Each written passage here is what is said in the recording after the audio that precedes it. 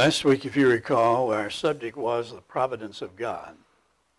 And um, I told you then, Lord willing, that I wanted to have one more lesson on that. And so this is part two then of the uh, providence of God. And we talked then the meaning of the word providence from um, two words. It means to see before, to forethought or, or foresight of something before it happens. And so there, we pointed out too, there are two types of divine providence. One is the general providence that God uh, shows or has over all mankind, of course. Uh, we looked at the verse Matthew 5:45. He makes his sun to rise on the evil and on the good, and sends rain on the just and on the unjust. We also pointed out that the civil government is part of that general providence of God from Romans 13, verses 1 and 2. Let every soul be subject unto the higher powers, for there is no power but of God. The powers that be are ordained of God, so that's his providential watching over them. And then a rather interesting verse we read last time, Proverbs 21 1. The king's heart's in the hand of the Lord, like the rivers of water. He turns it wherever he wishes. So God is in control of our government, so to speak, of the powers that be. We saw that he provides for animals, he provides for plants. And so this is the general providence then of God over all of creation. But we spent most of our time upon the special providence of God. So what is the special providence of God? It's the overall biblical concept of God's special care over his own, those who are living, living in harmony with his will. Christians. And so that's where our emphasis will be. I also want to point out again what it is not. It's not God working in opposition to uh, the Bible, His inspired word. It's not miracles like the feeding of the 5,000 by Jesus. Miracles uh, suspend natural laws, while the providence of God uses natural laws to carry out the, His goal. And so it's God blending then the natural circumstances of life together for the good of his righteous people. Now, we looked at several scriptures. I want to read just a few to remind us of this special providence that God has over uh, those that are living in harmony with his will. Psalm 37, verse 25 I've been young and now I'm old, and yet I have not seen the righteous forsaken, nor his seed begging bread. Psalm 55, verse 22 Cast your burdens upon the Lord, and he will sustain you. He shall never allow the righteous to be moved. And then Psalm 46, verses 1, 2, and 3. God's our refuge and strength, a very present help in trouble. Therefore we will not fear, though the earth give way, though the mountains be moved into the heart of the sea, though its waters roar and foam, though the mountains tremble at its dwelling. I will not fear, he says. And then, of course, Romans 8, verse 28 and 29, we know that all things are for those who love God. All things work together for good to them who are the called according to his purpose. And remember, as we'll point out later, he says it's for those who love him. All things work together for good. And we saw that the proof of our uh, claim to love God he says, If you love me, you will keep my commandment. John 14, 15. Now, there's, there's an aspect that we may not have thought about, and that's our prayers. Have, have you stopped to think when our prayers, so many of our prayers, if we'll analyze it, we're asking God, to God to providentially uh, answer those prayers. Let me just, just uh, illustrate here. Uh, we pray for such things, you'll give us a safe journey to our home. Well, how's God going to answer that? Providence of God? What about that uh, the preacher standing up say that, uh, you know, you have a prayer and says, help him to remember well the things that he's prepared. Well, how are you going to, how am I going to remember well the things I prepared and for your prayer to be answered? Would it be in the providence of God? And what about we pray for the, the sick? Uh, so how's God going to do that? Miraculously or providentially? And I would say providentially and also that he'd be with our loved ones. Uh, please, even the Lord's Supper, we, we, pray, please help us, Lord, to partake of it in a right manner. Well, how does God going to answer that prayer? If he answers it being providentially, wouldn't it? Or help us to win souls, help the church to grow. How's he going to bless us and answer that prayer to help us get out and try to win souls and the church to grow? Through his providential help, I believe. Now remember, we're talking about the care and the superintendence that God has over the righteous. I sure don't want to mislead in that. He has never promised his watch care to be with those who are not righteous. This special care is for those who are adhering totally to his word. Now, I want to look then at some examples both in the Old Testament and the New Testament of what appears to be, in some cases it's just more than just appear, you can see that God's hand is in it, but at least appear to be uh, an example of how God has worked in the Old Testament and the New Testament in a special providential way. Well, as it turns back, and as it turns out, we can look back and see, yes, that was the providence of God working that spared the Jews. Now, another excellent example, and I'm just almost sure it has to be the providence of God, and that's with the man Joseph. And we all know who Joseph was. He was the son of, uh, of Jacob. He had this son in his later years, and he had a special love for him. And in fact, almost too much, it would seem. The Bible just simply says that Jacob uh, had great love for Joseph. And so you know he made him a coat of many colors. And uh, Joseph also had some dreams. And in those dreams, he, he, dreamed, he dreamed that his brothers would be bowing down to him. And of course, he shared that dream with his brothers, and and that just made them uh, dislike him even more. They were envious of him and jealousy, uh, jealous of him already. Now we read in uh, Genesis 37, verses 3, 4, and 5, this statement. Now Israel loved Joseph. Israel would be the would be the same there as Jacob. He loved Joseph more than all his children because he was the son of his old age. And also he made him a coat of many colors. Dolly Parton had a song on that, you remember, about the coat of many colors? It was based on this, this story. But when his brothers saw that their father loved him more than all his brothers, they hated him and could not speak peaceably to him. Now Joseph had a dream, and he told it to his brothers, and they hated him even more. So you have the jealousy of the brothers. Then his brothers were out keeping the flock. And so uh, Joseph's father said, I want you to go out and, and go where they are and take them some, some things here for them. Well, when they saw him coming, you know the reaction, if you remember the story, they said, There's that dreamer. And they didn't like him, they were envious of him and jealous of him. And so uh, they decided they'd kill him. But the brother, one of the brothers, Reuben, said, No, do not kill him. Let's just throw him in this pit. And so they listened to Reuben and they threw him in a pit. Uh, shortly after that, there came some Midianites coming by, merchantmen, and so they sold Potiphar to these merchantmen that were going by, going down to Egypt. Now, Genesis 39, verses 2 and 3 says the Lord was with Joseph, and he was a successful man. And not only that, when they got to Egypt, they sold him to a man by the name of Potiphar. And he was an officer in Pharaoh's uh, court there in the legal aspect of Egypt. So here in Genesis 39, 2 and 3 again, the Lord was with Joseph, and he was a, success, a successful man. He was in the house of his master, the Egyptian.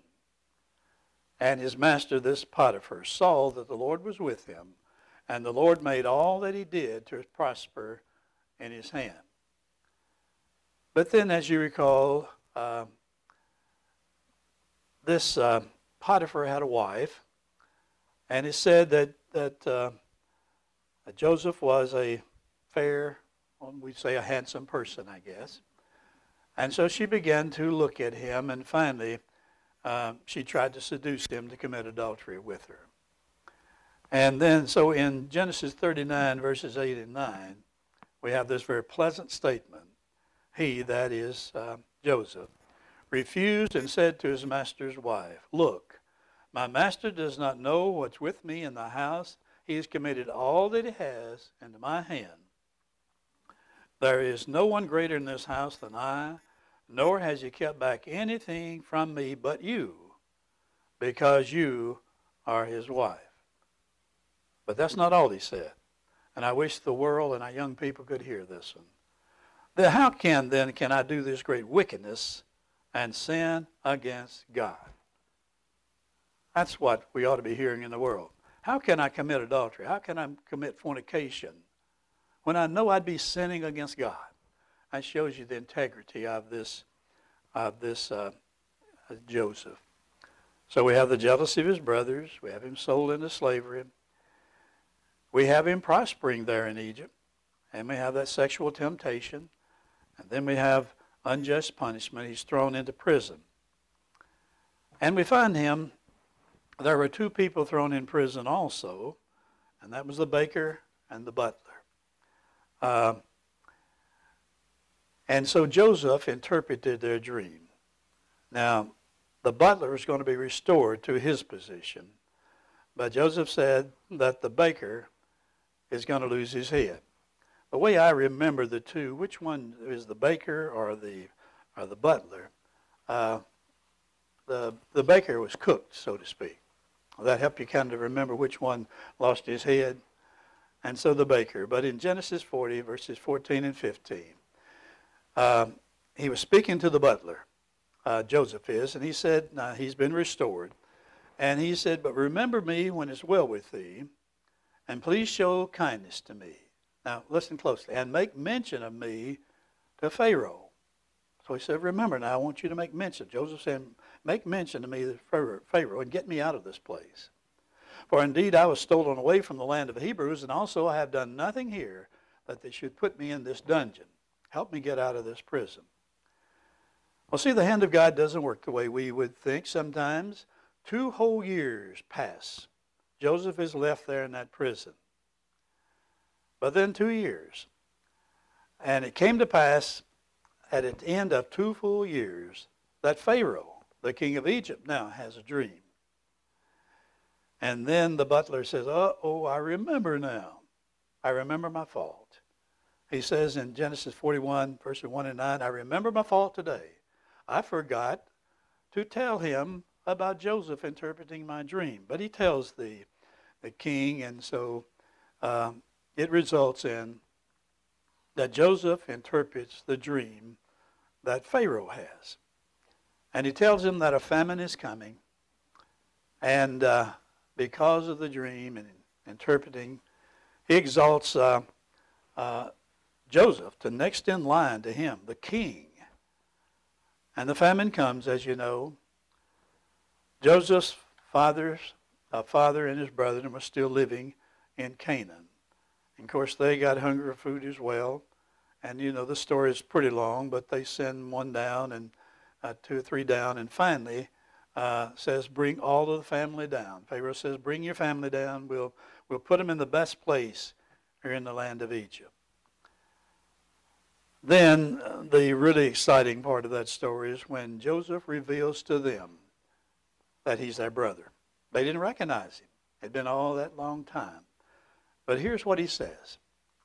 Joseph speaking to his brothers who had sold him into slavery and sought to kill him. In Genesis 45, verses 4 through 8, and Joseph said to his brethren, Come near to me, I pray. I pray you. And they came near. He said, I am Joseph, your brother, whom you sold into Egypt. Now therefore be not grieved nor angry with yourselves that you sold me hither. Now listen closely. For God did send me before you to preserve life. For these two years has the famine been in the land, and yet there are five years in which there shall be uh, neither earing nor harvest. God sent me before you to preserve a posterity for us in the earth and to save your lives by a great deliverance. And now listen to the rest of it. And so it was not you who sent me here, but it was God. And he made me a father to Pharaoh and lord of all his house, and a ruler throughout all the land of Egypt. Then in verse Genesis 50, beginning in verse 19, Joseph said to them, to his brothers, Don't be afraid, for am I in the place of God? But as for you, you meant evil against me, but God meant it for good. See that? God meant it for good, in order to bring it about, as it is this day, to save many people alive. So Joseph said, I know you meant evil, but God was using it for good. Now therefore, do not be afraid. I'll provide for you and your little ones. And he comforted them and spoke kindly to them. So what an interesting story. You just see the hand of God working it all out for his uh, what he intended for it to happen. But look what he used to do it. He took, he took the anger, or used the anger, and the envy that his brothers had. He took the lust of Potiphar's wife. He took the forgetfulness of Pharaoh's butler, two whole years of forgetfulness. He took the gratitude of Pharaoh for interpreting his dream, and it took that seven year drought and using all those things to bring Jacob's family down to Egypt. Small family, about 70 or so. But as you recall, they grew and grew and grew and became a mass of people, the Israelites, that finally were delivered from the Egyptian bondage. That's the hand of God. So, divine providence. I hope you'll tolerate this, but I, I typed out 13 things. 13 reasons why the people of Israel ended up in Egypt. It's retrogressive. It goes backwards. Try to, try to follow me. Number one, because there was a great famine and Egypt had food. Number two, because Joseph was the second in command in Egypt and stored food from the good year. Number three, because Joseph interpreted Pharaoh's dream. Number four, because the butler suggested that Pharaoh call for Joseph. Number five, because Joseph had interpreted the butler's dream two years previously. Because Joseph had been thrown into prison. Because Potiphar chose to put him in prison. Because Joseph was falsely accused by Potiphar's wife. Number nine, because Potiphar's wife tried to seduce him to adultery, and Joseph was a righteous man, and he fled from her. Number 10, because Joseph was over her husband, Potiphar's, uh, his, his house. Number 11, because Potiphar had, had uh, bought Joseph as a slave, and God blessed him and gave Joseph a good work there. And number 12, because Joseph's brothers sold him to this trader for 20 pieces of silver, because Jacob, his father, was partial and Joseph's dream caused his brothers to be envious. And because Joseph that morning, or, or um, his father that morning, he got up when he made that decision to send Joseph out to his brothers. What a cumulative effect that decision had. Ultimately, ended up in the saving of the people of Israel in the land of Egypt. Now, did those things just happen I don't think so. Now, but let's, let's, let me just talk a little bit about this divine providence. It's not about God controlling uh, our every action uh, to get his way. It is, on the other hand, God taking our choices and our works and bringing those together for a greater work, as Philippians 2, verse 13 says. It does not require miracles. Now, admittedly, there were about two things in this long account that had a, a miraculous element in it, but they don't seem to have totally affected the behaviors. And so it was non miraculous, basically. Now, here's what I find interesting about this. Did you know that God planned for this whole plan, God knew about it before any of this ever began to happen. For instance, in Genesis 15, listen, a few hundred years earlier, a few hundred years earlier, God appeared to Joseph's great great grandfather by the name of Abraham. Now listen what he told him in Genesis 15, verse 12, beginning. Now, when the sun was going down, a deep sleep fell upon Abram, or Abraham, and behold, horror and great darkness fell upon him. Then he said to Abram, or Abraham, Know certainly that your descendants will be strangers in a land that's not theirs. We know that's Egypt. And will serve them, and they will afflict them for 400 years. That's exactly what happened, isn't it? And also the nation whom they serve I will judge, and afterwards they shall come out with great possessions. Who were all this? The Israelites. But if all these other things we looked at had not happened, then Jacob and his two boys would not have ended up there, would not have had these massive crowd of Israelites as they grew and grew for 400 years. But God knew. And he knew it ahead kind, and he used each step by step by step by step to make it happen. Now, let's go to the New Testament for some instances in it. I read last week Acts 8, verse 1. Paul, or uh, Saul, as it's called here, you know, he converted, became Paul. He was consenting unto his death. That's Stephen's death. And at that time, there was a great persecution against the church, which was at Jerusalem, and they were all scattered abroad throughout the regions of Judea and Samaria, except the apostles. Therefore, verse 14, they that were scattered abroad went everywhere preaching the word. Providence of God, great persecution came on the church, and literally everybody left that town of Jerusalem. How many were there? We would know on the day of Pentecost, 3,000 were baptized. We're talking about a lot of people there. Everybody left that town because of persecution except the apostles. And yet, you'd say, well, that's going to end the church. It actually turned out to the church massively growing. The hand of God. Another thing that's interesting, Paul's prayer uh, was providentially answered. In Romans chapter 1, verse 9 and 10, he's writing to the church at Rome, Paul is. He says, For God is my witness, whom I serve with my spirit in the gospel of his Son, that without ceasing I make mention of you always in my prayers. Now listen to verse 10. Making request, in other words, praying, if by any means, not length, I might have a prosperous journey by the will of God to come to you. So he's praying that through God's hand, he'll be able to go see them in Rome. Well, he did, but do you remember how that prayer was answered? Well, here are the steps. Paul returned to Jerusalem and he was arrested in Acts chapter 21. God appeared to him by night and tells him that he must bear witness with, of him in Rome. Now, this was a miracle, him appearing, but it doesn't seem to affect what happened. To save his life, the Roman leaders then takes Paul and over to Caesarea by night. Acts 25. And then Paul is put in prison at Caesarea for two years.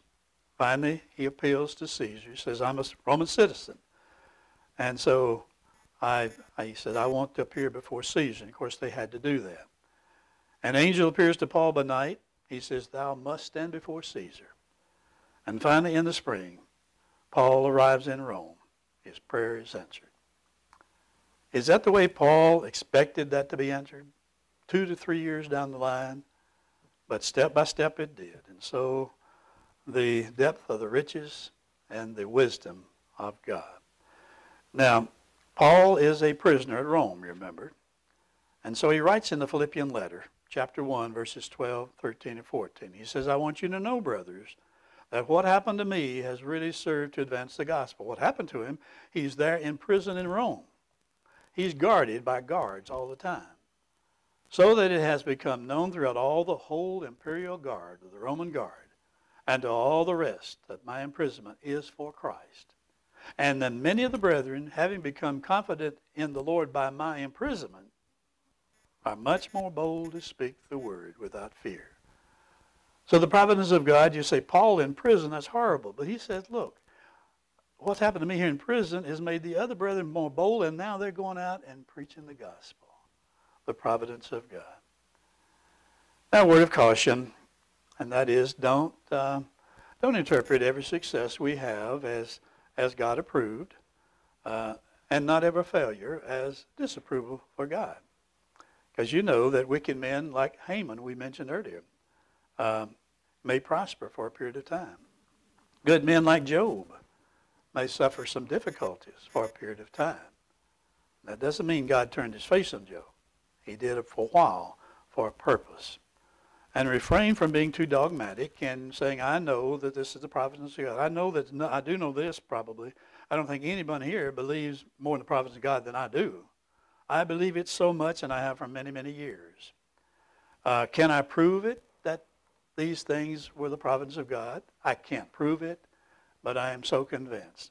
See, we don't know all these answers, but I knew I've seen God work in my life providentially in such marvelous ways. I believe it 100%. So last week we had that verse.